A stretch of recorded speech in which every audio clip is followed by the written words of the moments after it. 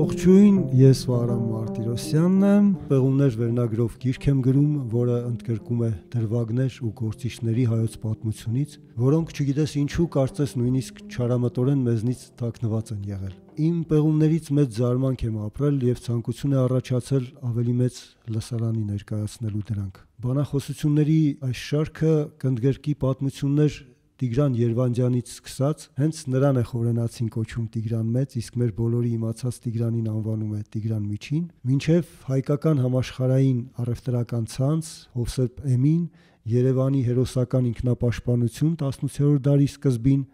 եւ Եվրոպայի հայկական սրճարաններ։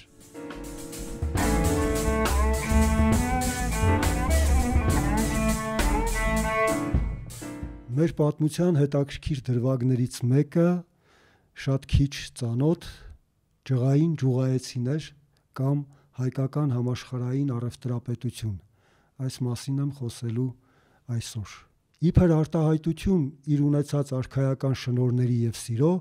ջուղայի հայերին է նվիրում Զայանդերուտ գետի աչափի եզերքի պետական հողերը։ Շահ Աբասի հրամանագրից։ Հայոց պատմության 15-18-րդ դարերը կարծես կամ դատարկ են կամ դժբախտ։ Եթե որևէ բան հիշում ենք, կապ ունի օտար տիրապետության հետ։ Բռնագաղթ, անմարտկային հարկեր, հավատափոխության պարտադրանք, ասպատակություններ։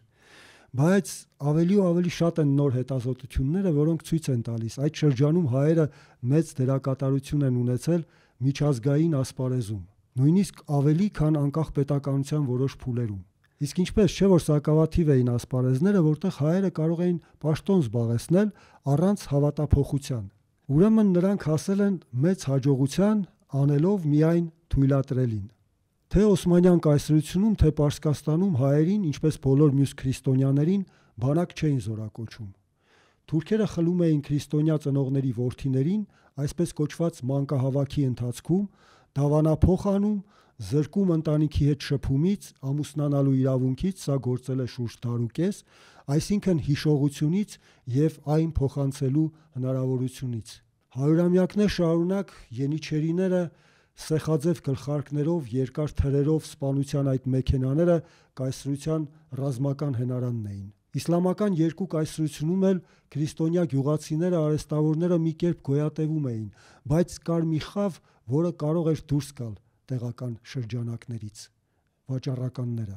Նախ երևի արժե մի փոքր խոսել, թե ով էր վաճառականը, ինչպես էին նրան վերաբերվում Միշնադարում։ Քրիստոնեական աշխարհում ոչ այնքան դրական։ Հիսուսը նոր կտակարանում զգուշացնում էր. ավելի դյուրին է, որ ուխտն ասեղի ծակով անցնի, քան թե հարուստը երկնքի արխայություն մտնի։ Հարուստը վաճառականը արժանի չէր երկնքի արխայությանը։ Կրոնական խոշորագույն փիլիսոփա Թովմա Ակվինացին դիցուկ արեստավորներին ու գյուղացիներին ավելի բարձր էր դասում նոր կտակարանի ցուցումներով։ Հասարակությունը պետք է որ համամիտ լիներ։ Վաճառականը չէր ցանում ու հնձում, որևէ բան չէր ստեղծում, այլ դրա մեջ շահում ուրիշների քրտինքն առնել ծախելով։ Քրիստոնյաները նաև հալածում էին հрьяաներին որպես մի ազգի, որը խաչելության է դատապարտել Քրիստոսին, իսկ նրանք հնուց ի վեր հայտնի էին որպես հմուտ վաճառականներ։ Այդ վերաբերմունքը տարածվում էր նաև մյուս ազգերի վաճառականների վրա։ Անցյալի բացասական ընկալումը մեզանում հետագայում ամրապնդել են 19-20-րդ դարի հակաբուրժուական գրական երկերը։ Հիշենք թեկուս Բազազ Արտեմին։ Ապա մասնավոր առևտրի դեմ սովետական միության պայքարը։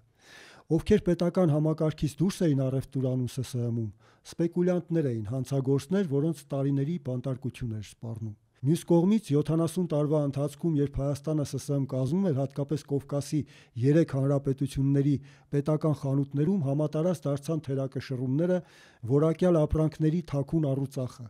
Նրանց պետք է որ խստորեն պատժեր օրենքը, բայց աչք էր փակում կաշառքի դիմաց։ Այսինքն բոլոր հիմքերը կային ոլորտը չսիրելու, վաճառողներին շարունակել չսիրելու։ Ազատ մրցակցության բացակայությունը հանգեցրեց հետսովետական հանրապետությունների մեծ մասի տնտեսության փլուզմանը, ՍՍՀ փլուզումից հետո։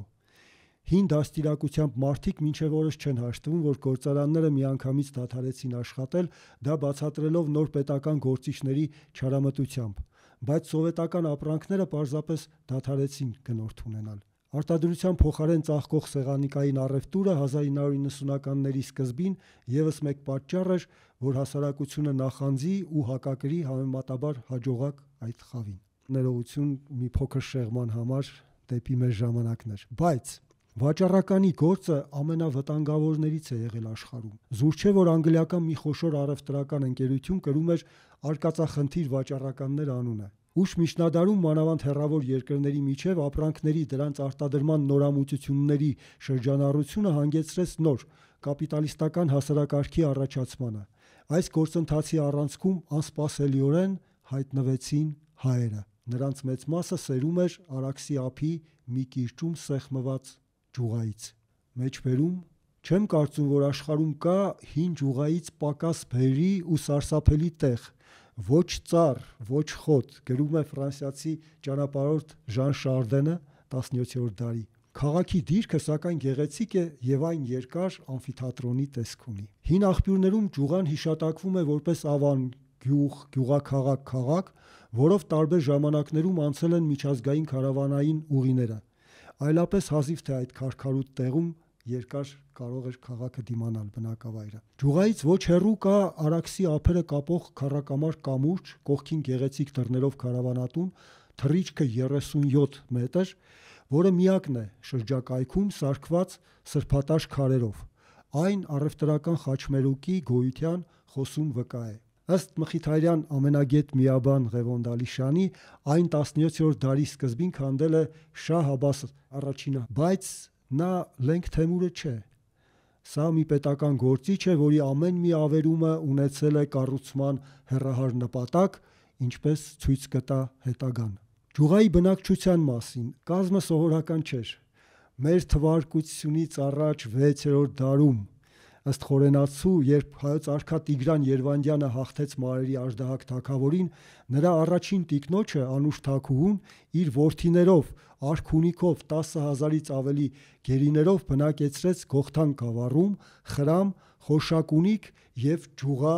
ավաններում։ Լեոն այդպես էլ կոչում է ջուղայեցիներին հայ կղերական դիվանագիտությունը աշխատության մեջ։ Ձուլված հայացած մարեր Ջուղան նաև այն բնակավայրերից է, ուր տեղափոխվել են անեցիները 14-րդ դարում Լենք Թեմուրի կործանարար արշավանքներից հետո Կիլիկիայի Սիս մայրաքաղաքի եւ Վանի շարքում։ 15-րդ դարի առաջին կեսում ջուղայեցիները փերեզակներ էին, մանրավաճառներ։ Ասեղ, խուլունք, մատնիկ, մարջան, ապարանջան, Սա է ապրանքների տեսականին, որ նրանք վաճառում էին ըստ Թումանյանի Թագավորն ու Չարչին Պալլադի, որի ենթավերնագիրն է Ջուղայի գաղթից։ Վաճառում էին կամ ավելի հաճախ փոխանակում հավ ու ձվի հետ, քանի որ գնորդները խեղճ էին դրամից։ Չարչին ծպտյալ թակավորը Շահ Աբասն է, որի ձեռնարկած դաժան բռնագաղթից բողոքում եւ սպանվում է նրա ձեռքով ծեր գյուղացին։ Շահը ծանր գնով էր Պարսից գահ բարձրացել։ Մի քանի բառ նրա մանկության տրավմաների մասին։ Ստիպված էր եղել պատանի տարիքում ծպտված ապրել, որ չսպանվի։ Այսինքն արևելյան հեքիաթների այս մոտիվը իրական հիմք ունի։ Սպանությունը կասկածում եմ։ Չարչին պետք է որ բավական սրտոտ լիներ, որ գյուղից գյուղ գնար ճանապարհներով, որտեղ վխտում էին ավազակները։ Նա նաև պետք է քաղցր լեզու ունենար, որpիզի գնել տար իր մանրուքը հարսն ու աղջիկներին։ Փերեզակների եկամուտը մեծ չէր իհարկե, բայց առավել հաջողակները կուտակեցին այնքան գումար, այսօր վա բառապաշարով կասենք նախնական կապիտալ, որ խոշոր առևտրի անցնեն եւ սկսեցին նվաճել կովկասյան շուկան նախ։ Շամախին, որը բավական հայահոց էր, իսկ իրանական խոշոր քաղաքներից Գիլյանը, Ղազվինը, ապա եւ Թավրիզը։ Այս քաղաքների նշանակությունը մեծացավ, երբ թուրքերը 1453-ին գրավեցին Կոստանդնուպոլիսը եւ անատոլիական առևտրական ճանապարհները կտրվեցին, անհուսալի դարձան։ Հայ վաճառականները իրենց ապրանքները ուղեցին հյուսիս Ղրիմ, որտեղ ուժեղ առևտրական համայնք ունեին նավագնաց ջենովացիները։ Բայց 1475-ին թուրքերը գրավեցին նաև Ղրիմը։ Հայ վաճառականների մեծ մասը, որոնց նավահանգստային հայեր է կոչում թեմայի բազմամյա հետազոտող Սեպուհ Ասլանյանը, տեղափոխվեց ջրանցքների վրա կառուցված Վենետիկ հրաշագեղ քաղաքը։ Դոժին ուղված հայկական մի խորհրդաժողովի նամակում այն անվանվում է բանալի եւ փականք բովանդակ քրիստոնեության։ 16-րդ դարում հայ համայնքը, որում շատ ջուղայեցիներ կային, այնպես է ամրապնդվել Վենետիկում ըստ կառավարման կարգի հանրապետությունում, որ գրում է ինքնավար ազգային սահմանադրություն։ Լիվորնոյում եւս, որն այդ ժամանակ աշխույժ նավահանգիստ էր, հայ վաճառականները նույնը անում են 1553-ին։ 1591-ին հատուկ հրովարտակով նրանց այնտեղ բնակվելու արտոնություն տվեց Տոսկանայի մեծ դուքս Ֆեդերիկոն, իտալական Մեդիչի հայտնի տոհմից։ Կարծես թե բարեհաջող էր ավարտվում ջուղայեցիների 16-րդ դարը Եվրոպայում։ Բայց բուն Հայաստանում ջուղայի գլխին ամպեր էին կուտակվում։ Օսմանյան կայսրությունը հզորանում էր, Պարսկաստանը թուլանում, որի հետևանքը գահակալական խարդավանքներն էին, ներքին անկայունությունը։ Դա տևեց մինչև Շահ Աբասի գահակալությունը 1588-ից 1629 թվականներ։ 6 տարեկան էր Աբասը, երբ կասկածամիտ եղբայրը Իսմայիլ II շահը հրամայեց նրան սպանել, բայց այն խանը, որը իրագործելու էր մահապատիժը, հետաձգեց անմեղ արյան հեղումը, մինչև անցնի մուսուլմանական հերթական տոնը։ Մի քանի օր ոչ ճակատագրական եղան ոչ միայն Շահ Աբասի, այլ նաև հայության համար։ Իսմայիլ II-ը մահացավ թունավոր Ափիոնի օգտագործումից։ Երկու տարի անց հարեմ ներխուժելով Աբասի մորը սպանեցին ղզրբաշտները։ Սրանք շիա իսլամ էին դավանում եւ թյուրքալեզու 7 ցեղի ռազմականացված հոգևոր միաբանության անդամներ էին։ Պարսկական զորքի հարվածային ուժը կազմելով շուրջ 2 դար, բարձրագույն դիրքերի էին հասել պետության մեջ։ Ղզլբաշ թուրքերեն կարմրագլուխ էին կոչվում, քանի որ 12 շերտանոց կարմիր փաթթոսներ էին կրում միաբանության հիմնադիր Շեյխ Հեյդարի նման, ի պատիվ 12 շիա իմամների։ Գահ բարձրանալով 1588-ին 17-ամյա հասակում Աբասը շարունակեց Պապի Թահմաս Պառաչինի քաղաքականությունը։ Նա ղզլբաշների ազդեցությունը թուլացնելու համար տասնյակ հազարավոր քրիստոնյա չերքեզների, վրացիների ու հայերի տեղափոխեց Պարսկաստան եւ նրանցից դավանափոխ անելով կազմեց այսպես կոչված ղուլամների, բառացի ստրուկների, թիկնապահ հրաձիգ գունդը թուրքական ենիչերիների նմանությամբ։ Աբասն ինքը հասակ էր առել ղուլամների միջավայրում նրանցից սովորելով զենքի տիրապետել եւ որս անել։ Թեև նա իշխանության էր եկել ղզլբաշների մի թևի օգնությամբ, ղուլամներից շատերին դարձրեց հրամանատար եւ կարևոր նահանգների կառավարիչ։ Այդ թվում մի քիչ հայերով པարծենանք հայազգի Յուսուֆ խանին, որը նախ շահի որսապետն էր, ապա Աստարաբադի, Շամախի, Շիրվանի նահանգապետը։ Իսկ Երևանում ծնված Քարաջաղայ խանը, որի մանկության ընկերն էր Յուսուֆը, 1716-ին նշանակվել էր Պարսից զորքի սպարապետ, եղել Թավրիզի եւ ամբողջ Ադրբեջանի, ապա Մաշադի կառավարիչը հյուսիսարևելյան Խորասանում։ Սա արվեստասեր էր եւ ճենապակու հարուստ հավաքածու ուներ։ Իհարկե, երկուսն էլ դավանափոխ էին, այլապես չէին կարող այդպիսի դիրքեր գրավել։ Շահը 1590-ին հաշտություն կնքեց Օսմանյան կայսրության հետ, մեծ տարածքներ զիջելով, որպիսի ամրապնդի երկիրը։ Նա արդիականացրեց արագ բանակը անգլիացի երկու արկածախնդիր սպայի Էնթոնի եւ Ռոբերտ Շիրլի եղբայրների օգնությամբ։ Միջին Ասիայում մի քանի հաղթանակներ տարավ, որից հետո արդեն Օսմանյան կայսրությունից հետ նվաճեց Թավրիզը 1602-604 թվականներին Կովկասյան տարածքները, այդ թվում Երևանը հնգամսյա պաշարումից հետո։ Երևանի Ամիրգունա խանի մասին պատմում էին, որ եթե հղի կնոջ ամուսնուն տանում էր կորի, այսինքն հարկադիր աշխատանքների, դա տևում էր այնքան, մինչև որդին մեծանում միանում էր հորը։ Բայց Օսմանյան վայրագություններն ու հարկային կողոպուտն այնքան ավելի զարհուրելի էին, որ հայերը ուրիշ քրիստոնյա եւ նույնիսկ մուսուլման ազգեր ցնցությամբ դիմավորեցին Շահ Աբասին, երբ նա իր նվաճումները արեց։ Թավրիզում շատերը իրենց թուրք փեսաների եւ աներորթիների գլուխներն էին նվեր բերում շահին, իսկ մայրերն իրենց ձեռքով սպանում թուրքերից ծնված զավակներին, որpիզի այդ մեջբերում եմ չար ժողովրդից որևէ հիշողություն չմնա։ Սա պատմում է ժամանակակիցը պորտուգալական Սիրեն քաղաքի եպիսկոպոս Անտոնիո դե Գուվեան։ Ջուղայեցիներն էլ քաղաքի փոքրաթիվ կայազորն են կոտորում եւ թուրքերի գլուխները տեգերի ծայրին հագցրած ընթառաջ գալիս շահին։ Այնուհետև Շահ Աբասը աղետալի մեծ գաղթը կազմակերպեց, որը Թումանյանը նկարագրում է արդեն հիշատակված Թագավորն ու Չարչին բալլադում։ յետևը սուր, առաջը ջուր, այդ տարի իլրում են ամենի արաքսներ վարարել եւ բալադի ենթավերնագիրը մեկ անգամ նշեցի ջուղայի գաղթից, բայց բռնի Պարսկաստան տեղափոխվեցին Նախիջևանի գավառի նաև Երևանի, Հայաստանի տասնյակ ուրիշ քաղաքների հարյուրավոր գյուղերի բնակչությունը։ Պայմանավորված էր մեծ գաղթը հայերի կամ քրիստոնյաների հանդեպ Շահ Աբասի թշնամությամբ։ Պատմագիտության մեջ արդեն ընդունված տեսակետ է, որ ոչ։ Շահը այրված հողի քաղաքականություն է վարել Օսմանյան կայսրության դեմ 1604 1606 թվականների պատերազմում։ Վստահ չլինելով, որ կարողանա պահպանել գրաված հողերը, նա բնակչությանը տեղափոխել է Պարսկաստան, որպիսի Օսմանյան բանակները տեղական բարենավորումից զրկվելով չկարողանան ամրանալ ու հետ քաշվեն։ Սա իսկապես հիմնավոր մեկնաբանություն է։ Ավելին, հայկական մի հիշատակարան տեղեկացնում է, որ թուրքական զորքն այնքան մոտ է եղել, որ բոլորի հետ միասին մեջ բերում եմ շահ մեծ անկավ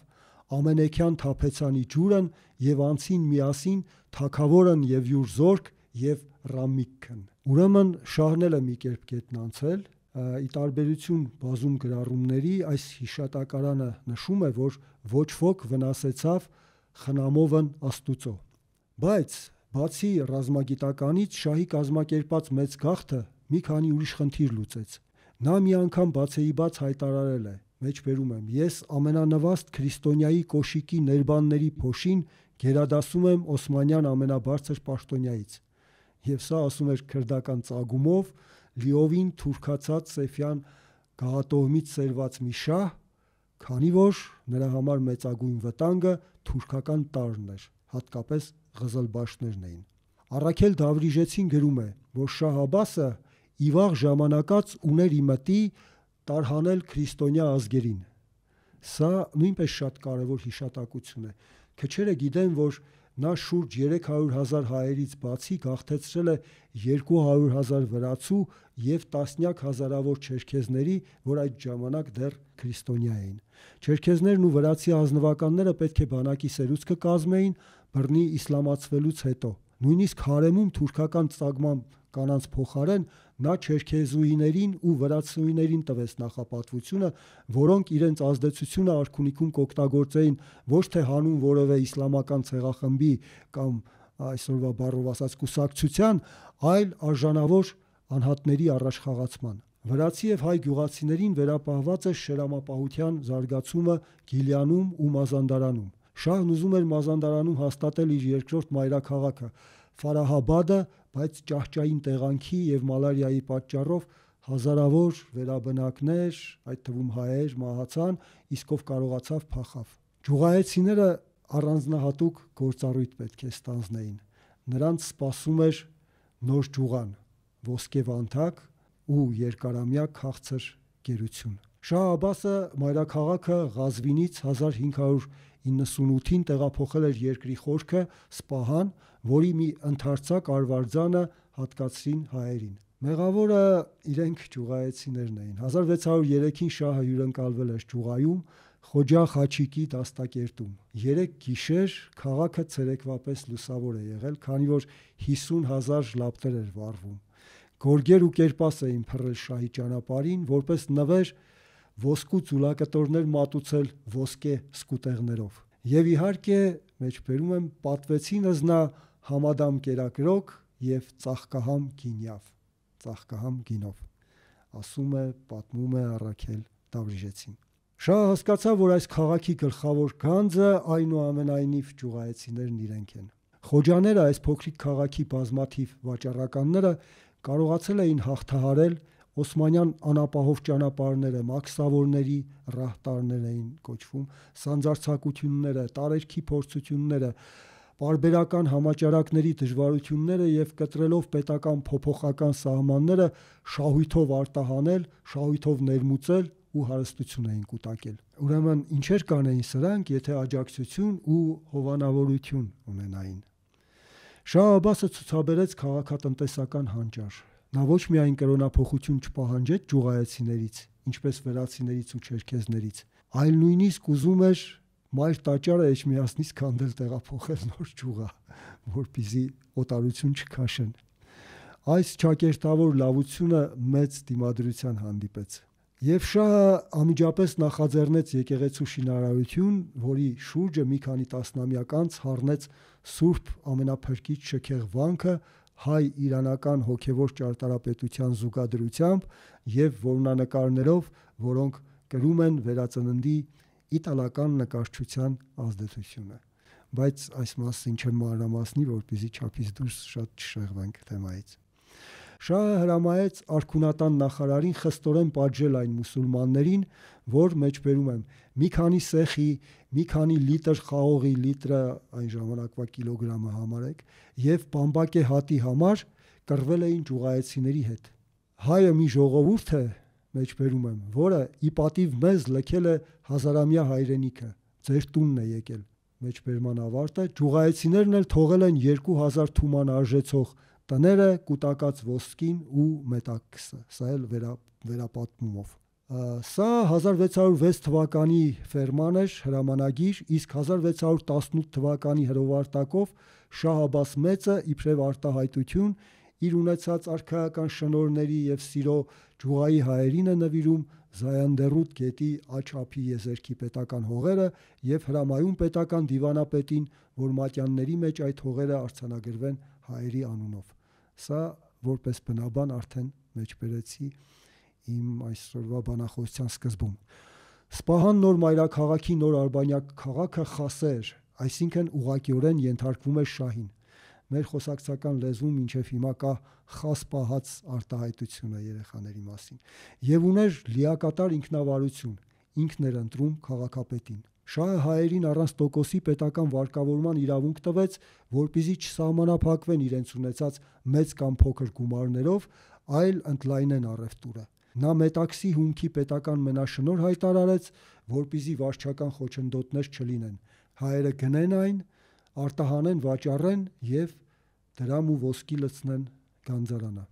Մետաքսի մասին մի քանի բառ, մետաքսի ծագումը առասպելը վերագրում է Բոժոժին, որը թթի ծառից ընկել է կայսրուհի Սի Լինշիի թեյի բաժակն ու ջերմությունից վերածվել թեյի։ Ահա թե ինչու մետաքսի հայրենիքը համարվում է Չինաստանը։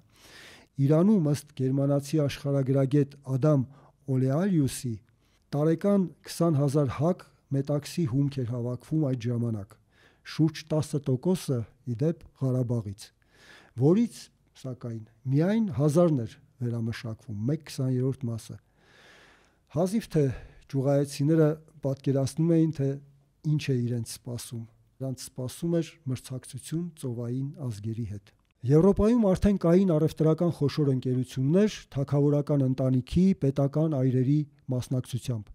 Հիմնական նպատակը Հնդկական օվկիանոսի շուկան գրավելն էր, որն արտացոլվում էր այդ ընկերությունների անվանումներում՝ արևելահնդկական։ Առաջինը հիմնվեց Անգլիայում 1600-ին, ապա Նիդերլանդներում 1602-ին։ Առևտրական ընկերություններն ունեին սեփական նավեր ու զորք։ Հնդկաստանը հերրավոր Արևելյան Ասիան միշտ գրավիչ է եղել որպես շուկա դպրոցական դասագրքերից իսկ հայտնի համեմունքներով, որոնք Եվրոպայում ոսկու գին ունեին։ Ուրեմն ինչու հատկապես հիմա էր պետք ռազմականացված ընկերություններ ստեղծել։ Պատճառը Կոլումբոսն էր, որը 1492 թվականին հայտնագործեց Նոր Հնդկաստանը, Ամերիկան։ Իսկ ո՞րն է կապը այս երկու իրադարձությունների մեջ, երևույթի եւ իրադարձության։ 1545-ին իսպանացիները Պերույում սկսեցին շահագործել Պոտոսի կոչվող հանքավայրը Սերո Ռիկո լեռան գագաթի մոտ, որի բարձրությունը քիչ է զիջում Արարատին 4782 մետր։ Համանուն քաղաքը ծովի մակարդակից բարձր 4090 մետր շուտով ունեցավ շուրջ 200.000 բնակչություն։ Հանքը պարունակում էր ամբողջ աշխարհի արծաթի 60%-ը, որի մեծ մասն արտահանվում էր Ֆիլիպիններ, որն իդեպ այսօր Ասիայի երկու քրիստոնյա պետություններից մեկն է, անվանակոչվել է Իսպանիայի Ֆիլիպ II թագավորի պատվին, հայտնի նաև որպես Ֆիլիպ Խոհեմ։ Մի փոքր նույնպես շեղվեմ, որովհետև շատ հետաքրքիր է, կոչվում էր Ֆիլիպ Խոհեմ, թեև նրա կառավարման 4 տասնամյակի մեծ մասը անցել է պատերազմների մեջ, որոնցից վերջինը ավարտվեց նրա մահվանից 6 տարի անց։ Պարսկաստանի Սպահան մայրաքաղաքի նոր ջուղա Արվարձանի հիմնումից ընդամենը 6 տասնամյակ անց 1667-ին Ալեքսեյ Միխայիլովիչ Ցարի օրոք պայմանագիր կնքվեց հայ բանագնացների պատվիրակության հետ, ըստ որի պարսկական մետաքսի հումքը միայն Ռուսաստանով պետք է արտահանվեր Եվրոպա։ Անգլիացիներն ու հոլանդացիները, որ ձգտում էին այդ արտոնությանը, մերժում ստացան ռուսներից, անցանկալի մրցակիցներ էին։ Ռուսական կայսրության Աստրախան հանգուցային նավահանգստում հայերը, որ արդեն բնակչության մեծամասնությունն էին կազմում, 1746-ից ունեին հատուկ դատարան եւ դատաստանագիրք, որը պարունակում էր 214 տնտեսական հոդված։ 1688-ին անգլիացիների արևելահնդկական ընկերությունը համաձայնագիր ստորագրեց հայերի հետ։ Այն պատրաստ էր իրեն պատկանող ցանկացած քաղաքում տարածք հատկացնել, որտեղ իր ծախսով հայկական եկեղեցի կառուցեր եւ 7 տարի շարունակ 50 ֆունտ կվճարեր այն հոգեվորականին, որին այստեղ հայերը կհրավիրեին։ Հայ վաճառականներին տրվեցին Անգլիայի քաղաքացիներին հավասար իրավունքներ մեջ բերում եմ, չկարողանալով հաջողության հասնել հայերու հետ մրցապայքարի մեջ, անգլիացիները դիմաց են, եթե չես կրնար հաղթել անոնց, միացիր անոնց քաղաքականության։ Մեկնաբանում է պայմանագիրը հնդկական օվկիանոսից մինչև միջերկրական նոր ճյուղայի հայ վաճառականների համաշխարհային առևտրական ցանցերը գրքի հեղինակ Սեփու Ասլանյանը 1629 թվականին նոեմբերի 23-ին այժմ ուղվենք դեպի եվրոպական մեկ այլ երկիր, հրապարակվում է կարդինալ Ռիշելիեի հատուկ արտոնագիրը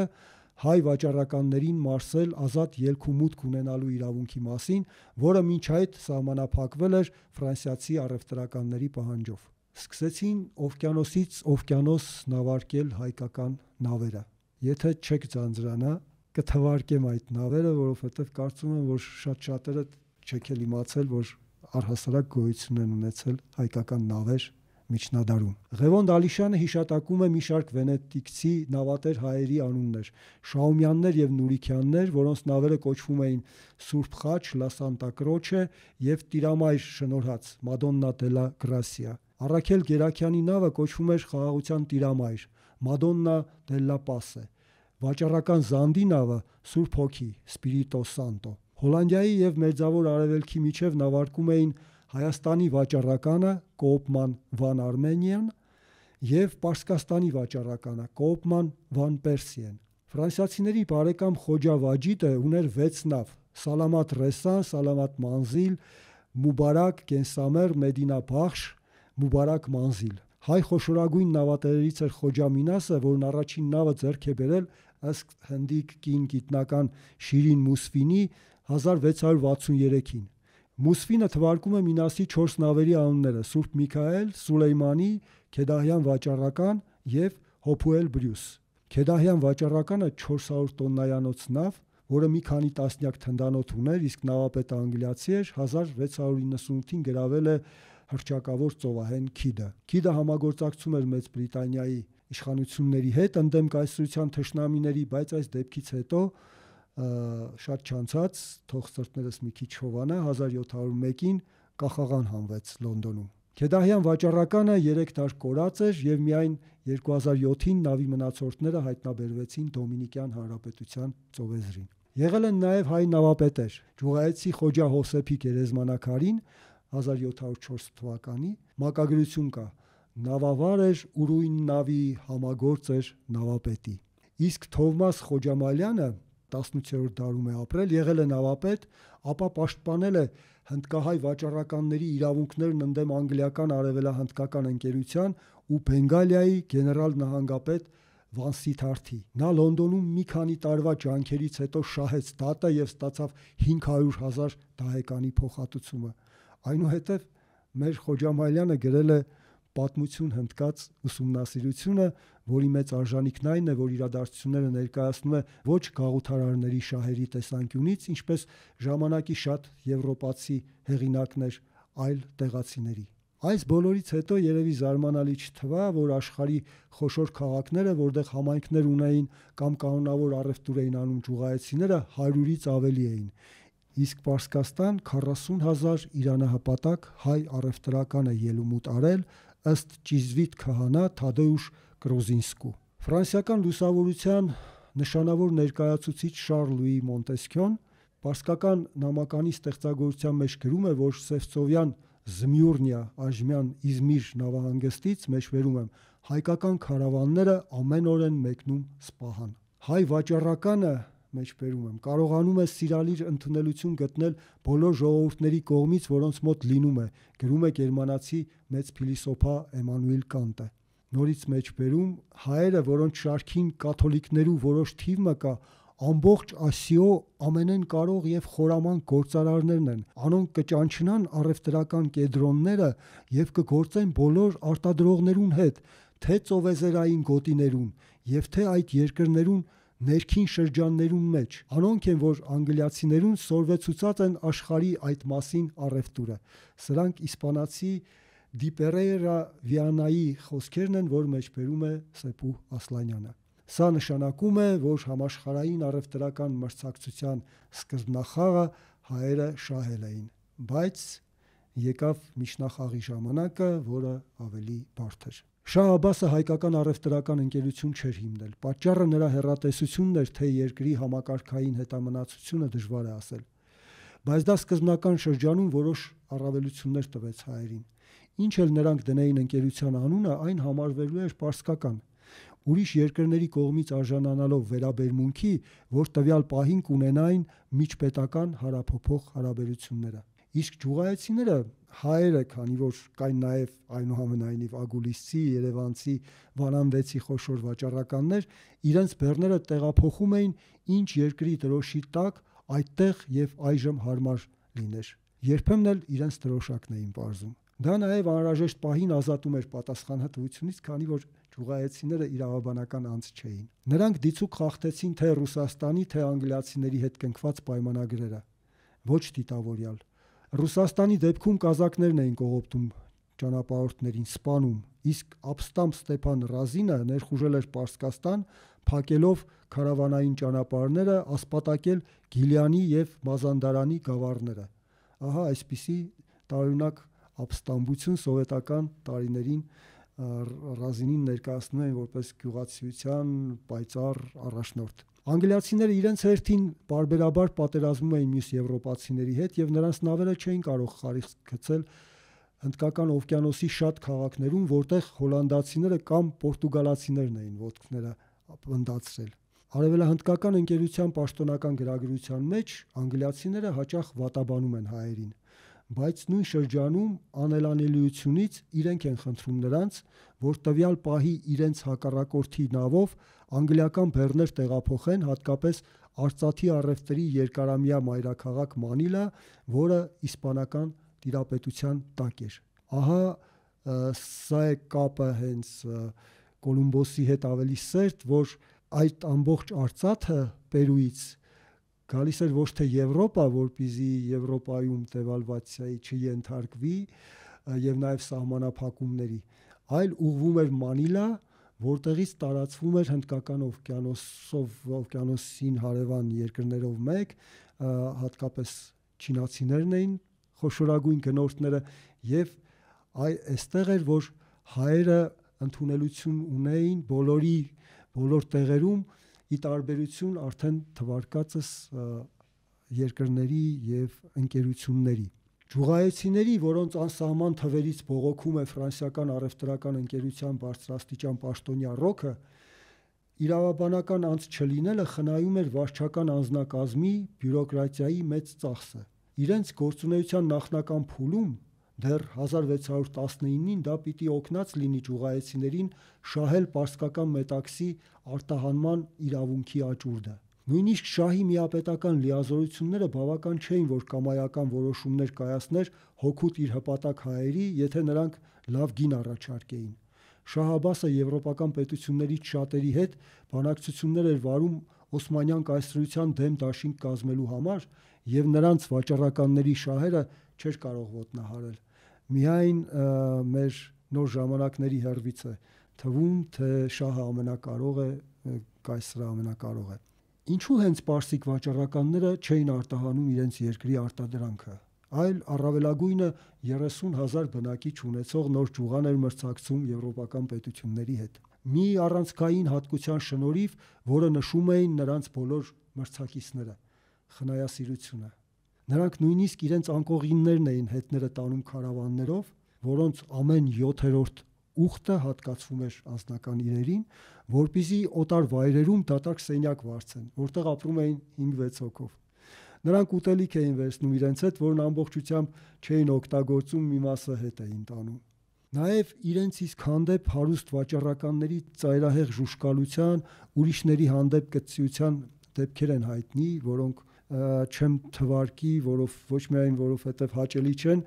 այլ որ անվերջ չձգվի իմ բանախոսությունը։ Իսկ պարսիկ վաճառականները վայելքներին էին տալիս իրենց օտար երկրներում,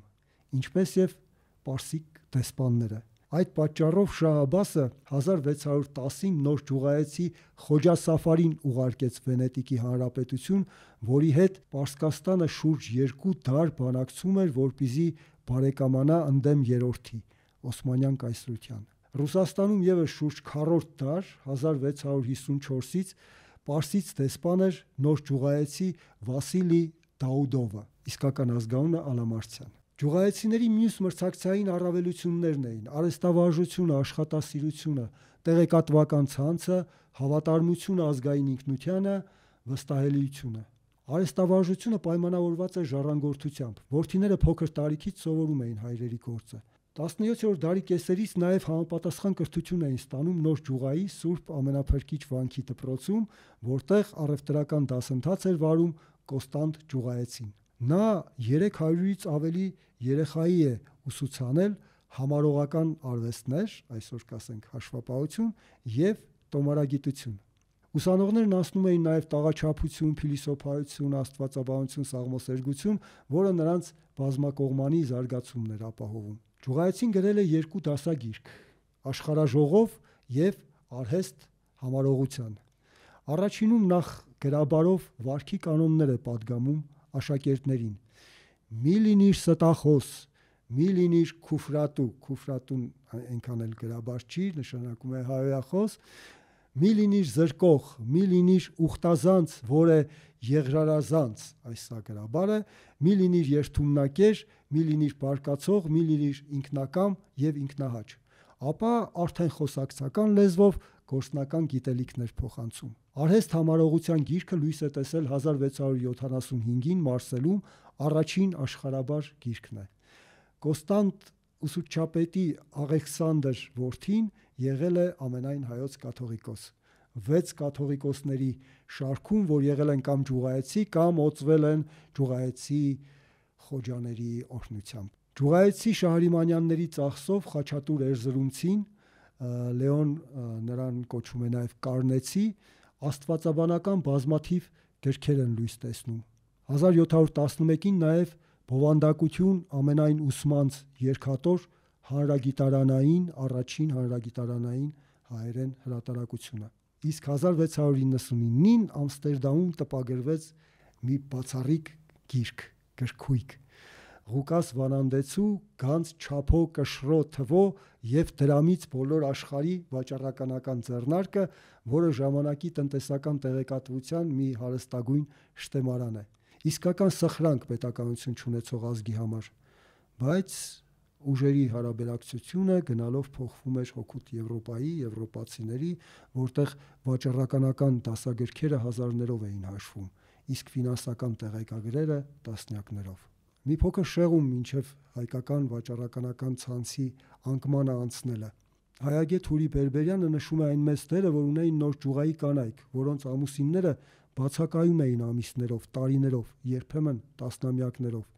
Նրանք պետք է գլուխ անեին առևտրական հաշիվներից, վերահսկեին գործերը եւ քահանաների օգնությամբ գրված նամակներով տեղյակ պահեին իրենց ամուսիններին իրավիճակի մասին։ Նոր ջուղայի առևտրական դպրոցում չէին դասավանդում օտար լեզուներ։ Դրանք ուսուցանվում էին Պարսկաստանում հաստատված կաթոլիկական միաբանություններում։ Այդտեղ հաճախելու համար հարկավոր էր դավանափոխ լինել, կաթոլիկ դառնալ այսինքն։ Հանուն աշխարի տարբեր անկյուններում հաղորդակցության դյուրության որոշ հայ պատանիներ եւ նրանց ծնողները կաթոլիկություն էին ընդունում, որի դեմ պայքարում էր լուսավորչական եկեղեցին եւ համայնքը։ Նոր ջուղայեցիները վաստակած դրամագլուխը նաեւ չէին քնեցնում, վարկ էին տալիս իրենց գործակալ աշակերտներին բավական բարձր փայաբաժին վերցնելով, բայց նորելուկ վաճառականները ի վերջո ինքնուրույնանում էին եւ ընդլայնվում էր ընդհանուր գործունեության դաշտը։ Մյուս հատկանիշը հավատարմությունը ազգային ինքնությանը այն արտահայտվում էր համայնք ստեղծելու մշակույթով Երբ հայ վաճառականը հաստատվում էր որևէ օտար երկրում, նոր ճյուղայից կանչում էր նախ օկնական գործակալների, ապա հարսնացուներն էին ժամանում եւ հետո քահանան, որին սպասում էր նորակառույց եկեղեցին։ Ամստերդամում, որտեղ ընդամենը 60 տուն հայ է ապրել, համայնքն ունեցել է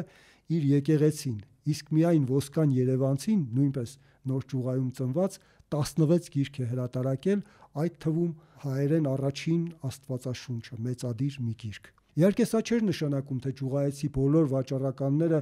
օրինակելիության տիպար էին։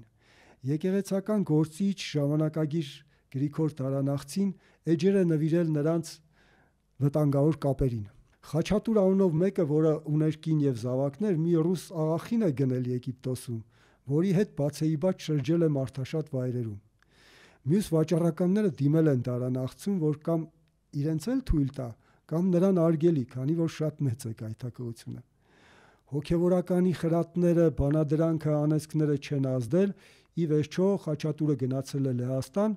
որտեղ նաև սեռական կողմնորոշումն է փոխել ըստ Տարանախցու։ Տարանախցու ժամանակագրության այս դեկամերոնյան էջերում պատահում են այլ ճուղայեցի վաճառականներ եւս, որոնցից մեկը կաթոլիկություն է ընդունել Իտալուհու հետ ամուսնանալով, բազում ուրիշներ ի Մսր, այսինքն Եգիպտոսում իսլամ ընդունելով նույն հողի վրա։ Շատ են այցելությունները Պորնկատուն, մեջբերում են բառը, որտեղ բռնվելը մեծ տուգանքների էր բերում, բացի նրանից, որ պախարակվում էին։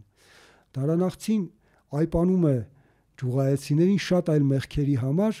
բայց նրա սրված ատելության պատճառը կարծես թե այն է, որ նրանք ուրիշ վանքերի չեն օգնում դրամով, բացի Էջմիածնից ու Երուսաղեմից, այսինքն իր չարթարացված սպասելիքները։ Հիմա վստահելիության մասին։ Վստահելիության հիմքերը մի քանիսն էին։ Հայ վաճառականները հիմնականում մեկ գերդաստանից էին, մեկի զեղծարարության համար պետք է պատասխան տային բոլորը։ Գերդաստանի ավակը ստանում էր հաշվետվությունների տետրերը, իսկ ընդհանուր վերահսկողությունը կատարում էր նոր ճուղայի քալանթարը, ընտրովի քաղաքապետը։ Շահը անսահման դյուրությամբ էր վարկ տալիս վաճառականներ կային, որ միայն իրենց բեղի մազն էին գրավ դնում։ Չպատկերացնեք այդ մազը ձեռքով բռնած, այլ փոքրիկ գեղեցիկ տուփի մեջ, բայց նույնքան խիստ կլիներ պատիժը խափեության դեպքում, թե միապետի կողմից, թե առևտրական ցանցի։ Պարսկական ասացված կա այդ ժամանակներից, թե հայը սուտ չի խոսում։ Ֆրանսիացի բնագետ Ժոզեֆ դե Տուրնեֆորը գրում է, որ հայ վաճառականներն անznազոհաբար մինչև պարանոցը ջուրն էին մտնում, որpիզի դուրս հանեն ձիերին, փրկեն սեփական կամ իրենց վստահված բեռները։ Տեղաբնիկներին հայերը ոչնչով չէին սպառնում, եթե նույնիսկ անznական զենք ունենային։ Իրենց հետևից ճունեին զորք, որը գալիս էր, գալու էր գաղութացման նպատակով։ Այս բանի շնորհիվ նրանք մեծ արտոնություններ էին ստանում, մասնավորապես Հնդկաստանի մեծ մողոլների կայսրության լուսավորյալ կառավարիչներից։ Իրենց հերթին գաղութարարների դեմ կռվելով որպես բարձրագույն հրամանատարական կազմ առնվազն 1 հնդկական ապստամբության ընթացքում նախկին վաճառական ապա բանակի գլխավոր հրամանատար Գորգին խան Գրիգոր Հարությունյան, նոր Ջուղայեցի, Մարկար Ջուղայեցի, Գրիգորի եղբայրը Հարություն Ջուղայեցի, Գրիգոր Այվազյան Ջուղայեցի հազարապետ էր։ Տեղեկատվական ցանցը սա գոյանում էր հազարավոր նամակներից, որոնք երբեմն գրում էին մի քանի լեզվով եւ կրկնօրինակում ուղարկում էին տարբեր նամակներով, որ գոնե մեկը տեղ հասնի։ Դրանք փոխանակվում էին համայնքների ու մայրաքաղաքի, այսպես ասած, սերվերի պատմաբան Մերուժան Կարապետյանի տիպուկ խոսքով նոր ճուղայի միջև։ Դրանք մի կողմից վերահսկողություն էին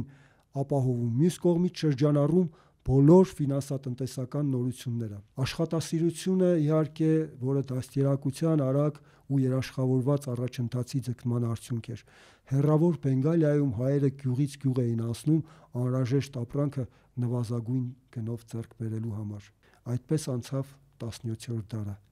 18-րդ դարում Սեֆյան գահատոհմի դիրքերը թուլացան, եվրոպացի ճանապարհորդները զարմանքով նկարագրում են,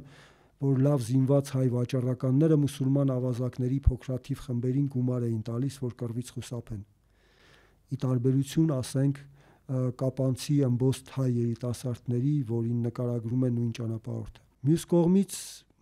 18-րդ դարում է գրառված թուրքական քյորողլի էպոսը, որի հերոսը ավազակ աշուղ է։ Հայ վաճառականը հաղթում է նրան մենամարտում, հետո վեհանձնաբար բաց թողնում հյուրասիրելով եւ 500 թուման նվիրելով, բայց Քյորողլին տարան է մտնում Երզնկայի մոտ, սպանում ու յուրացնում է նրա հարստությունը։ Էպոսներ թափանցում են սովորաբար տիպական դեպքերը, դա վերաբերում է թե քաջության դրսևորումներին, թե էթիկական չափանիշներին։ Ուրեմն ավազակների հարկը հաճախ չարյաց փոքրագույնն է եղել։ Զամենայն ինչսն եւ ըստ չորքոտանիսն տանեին եւ մարտիկն նետով անողորմ խոցեին Սա մեջբերում է հետուն պատմիչի 1307 թվականին գրած պատմություն Թաթարած Մատյանից, բայց անկայունության շրջանների բնորոշ պատկերը հավանաբար հասկացակ ընդհանուր միտքը, որ ամբողջ ունեցվածքը եւ չորքոտանիներին, այսինքն կենթանիներին տանում էին, իսկ մարդկանց նետով սպանում էին։ Մանավանդ որ թնդանոթների ու հրացանների դարում իսկապես միայն սրերով, նետ ու աղեղով ու նիզակներով զինված աֆղանական փուշտուն ցեղերը 1722 թվականին պարտության մատնեցին Պարսից շահ Սուլթան Հուսեյնին։ Գրավեցին Սպահանը նոր ջուղայեցիներից պլոկելով նրանց ողջ հարստությունը։ Նադիր շահը Ասիայի վերջին մեծ զորավարը, որ սերում էր աֆշարների թուրքալեզու ցեղից, գահանքեց արեց Սեֆյան Թահմասպ II-ին 3 պատերազմ հաղթեց, հալածեց թուրքական ու թուրքամետ ցեղերին, աֆղաններին հայերի դիրքը վերականգնեց եւ արգելեց արտագաղթել։ Բայց նրա սպանությունից հետո սկսվեցին խառնակություններ, որ շարունակվեցին տասնամյակներ։ Հայ խոջայական կապիտալի, ինչպես Լեոն է ձևակերպել, ամենաուժեղ մասնաճյուղում Հնդկաստանում 1757-ից հաստատվեց անգլիական գերիշխանություն։ Դա իրականացվեց արևելահնդկական առևտրական բաժնետիրական ընկերության միջոցով։ Միգուցե նորից մտածենք, որ ա ինչու մերոնք պարտվեցին, էլի թույլ են գտնվել, բայց այս ընկերությունը ունեցել է մինչև 260.000 զինվոր։ Լեոն մեղադրում է հայ խոջաներին, որ ավելի մեծ ազգային խնդիրներ չեն դրել եւ լուծել, բայց նույնիսկ հետին թվով դժվար է երևակայել, որ նրանք դա կարող էին անել։ Թեկուզ եւ Կան նաև բացառություններ, որոնց մասին ասեմ։ Վաճառական էր նաև Իսրայել օրին, որը մարդ մեդիա էր։ Նույնիսկ հայ մելիքների նամակները կեղծելով Մոսկովիայի ուշադրությունը սևեռեց Կովկասյան ուղությանը, իսկ հայության մեջ տարածեց ռուսական փրկչական առաքելության հույսը։ Պետրոս Դիգիլանենցը իր ունեցած ողջ առևտրական դրամագլուխը ծախսեց, որ հեծելազորային ջոկատ կազմավորի եւ այն միավորեց Այվազ Աբ รา համովի եւ Աղազար Դիխաչիկ Ախիջանենցի ջոկատների հետ, ստեղծելով հայկական էսկադրոնը ռուսական բանակում։ Գիլանենցը քաջաբար կռվել եւ մարտում զոհվել է 1724-ին։ Աղազար Դիխաչիկ Ախիջանենցը ծնվել էր վաճառականի ընտանիքում Նոր Ջուղայում, որի պաշտպանության կազմակերպիչներից էր 1722-ին, երբ աֆղանները ներխուժեցին Իրան։ Պաշարված հայերը իրար պարսկական անուններով են կոչել, որ աֆղանները մտածեն կանոնավոր բանակն է իրենց դեմ կռվում եւ քիչ զենքով այնքան ուժեղ են դիմադրում, որ կասեցնում են թշնամու հարցակումը։ Բայց Հուսեյն Շահը հաշվարկ էր արել, որ աֆղանները շուտ կհեռանան, եթե գրավեն ու կողոպտեն հարուստ նոր ճուղան եւ զինված օգնություն չցուցաբերեց։ Իհարկե,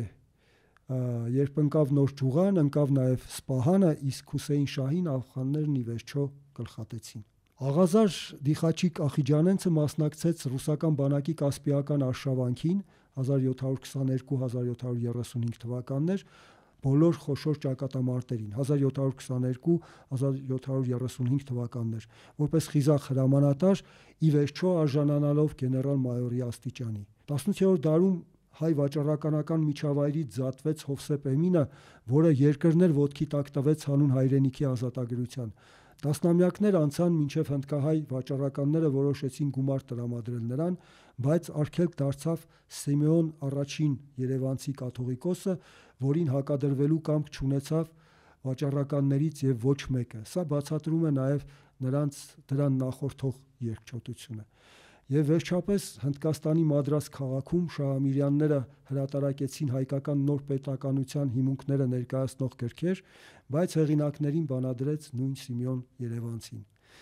Ուրիշ դեպք եւս հայտնի է, երբ վաճառականական Գերդաստանի ժառանգը ինքնուրույն փորձել է քաղաքական ծրագիր իրականացնել։ Լազարյանները, Եղիազարյաններ, Ղազարյաններ նոր ջուղայի դաշտ թաղամասից էին։ Նրանք 18-րդ դարի կեսից հաստատվեցին Ռուսաստանում, նախ Աստրախանում 1747-ից, ապա Մոսկվայում։ Մեջբերում եմ Ռուսաստանը գրեթե բացառապես ներմուծման եւ սպառողության երկիր էր։ Համարյա ինչպես հիմա գրում է Լեոն։